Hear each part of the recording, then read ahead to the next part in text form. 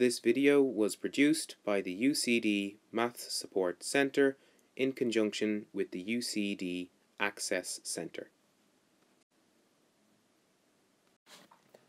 In this video we're going to look at how to find the points of intersection between lines and circles. So our first example here says a plane is traveling along the line x plus y minus 5 equals 0. Ahead lies a large cloud of ash from a volcanic eruption that can be represented by the circle x squared plus y squared equals 17. And we're also told to note that each unit represents one kilometer, which will become important in the second part of the question. But first we're asked to find the coordinates of the points P and Q these points here and here of intersection between the line and the circle. The second part asks that if it is considered unsafe to travel more than 4 kilometers through such an ash cloud, should the plane alter its course?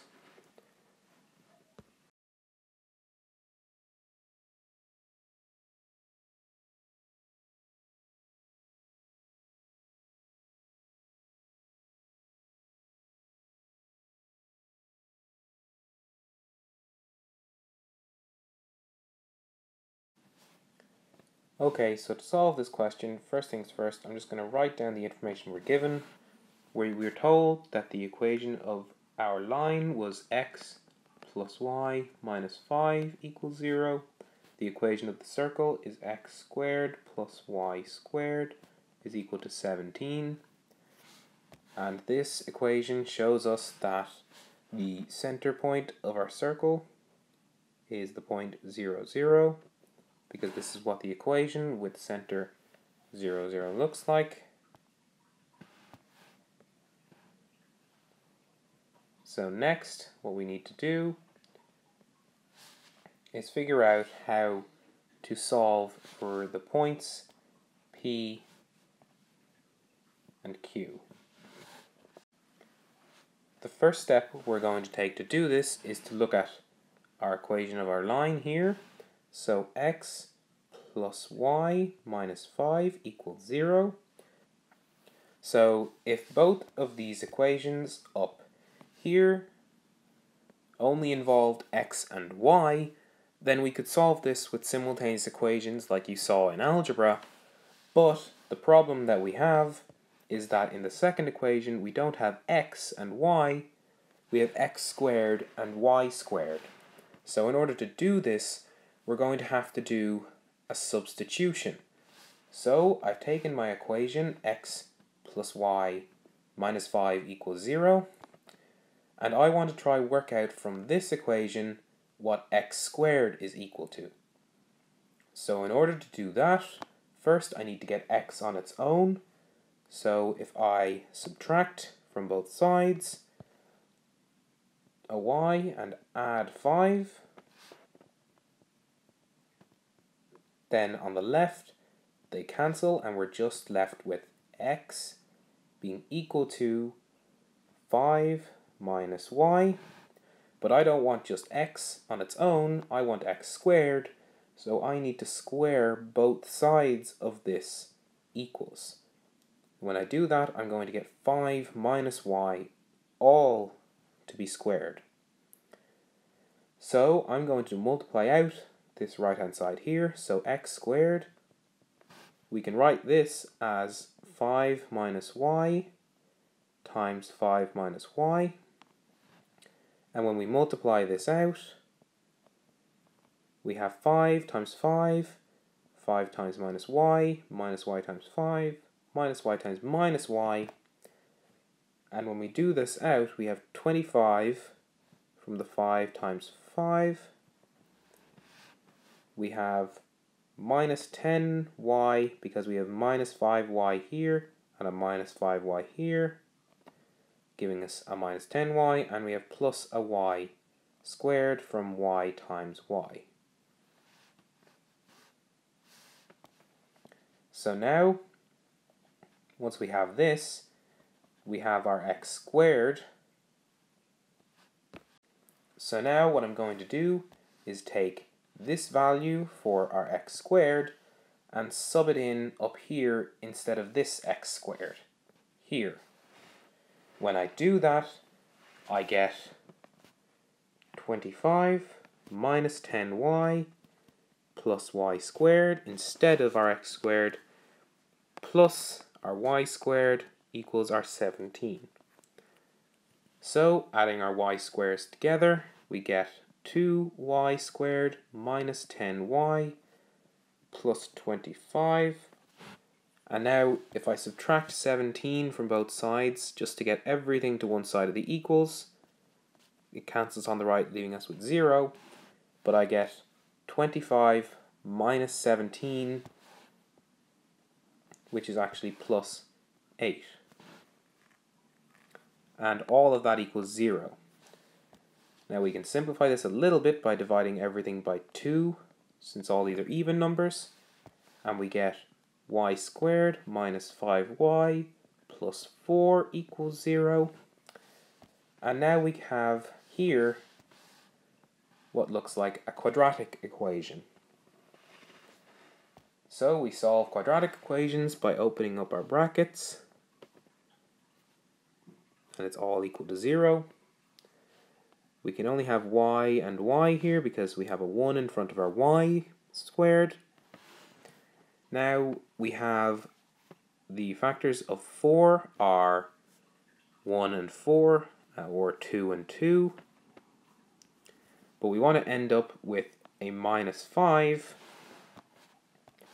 and since in front of the 4 is a plus, we'll have to add, but to get minus 5, both will have to be negative. So we have minus 4 and minus 1. We can just double check that. y times y is our y squared. y times minus 1 is minus y. And then we have another minus 4y, which gives us minus 5y. And minus 4 times minus 1 is plus 4 so this is correct here.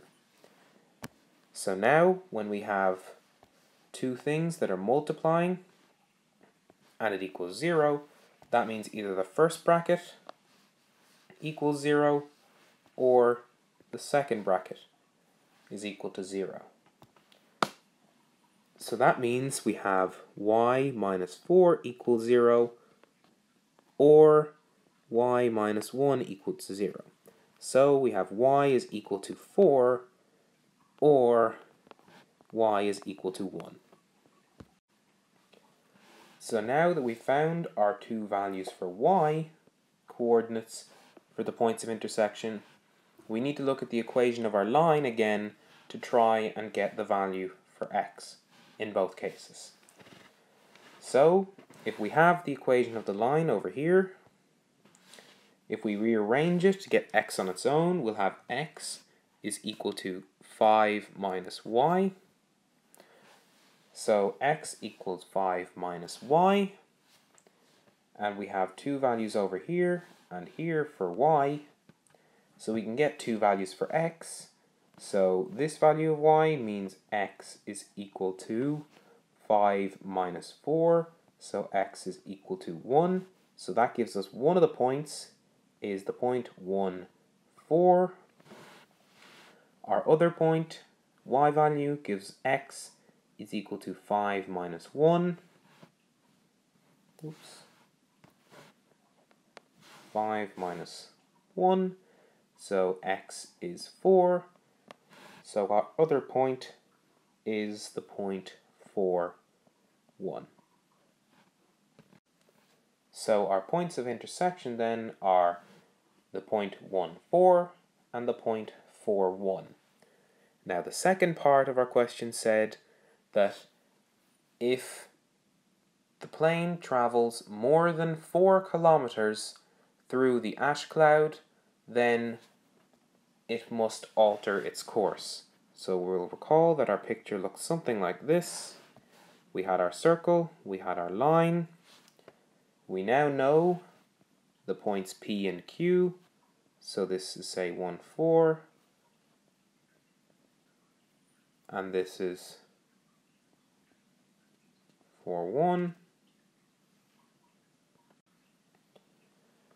then what we really need to find out is if this distance here inside the circle along that path is that greater than 4 kilometers. So that's the question we need to ask. So to get that to get the length of that line, we're going to have to get the distance from this point to this point.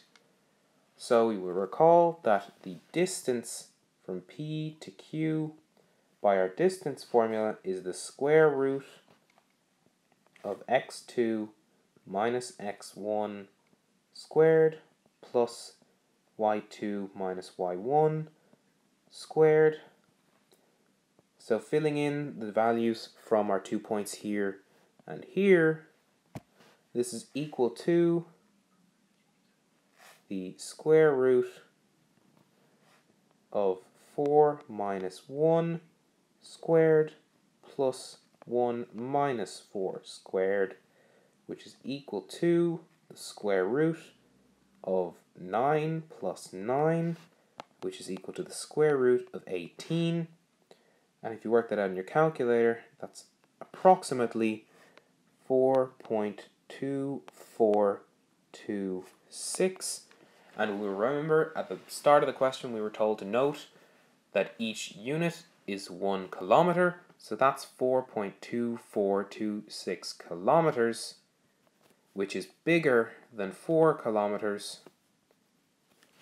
Hence, the plane should alter its course.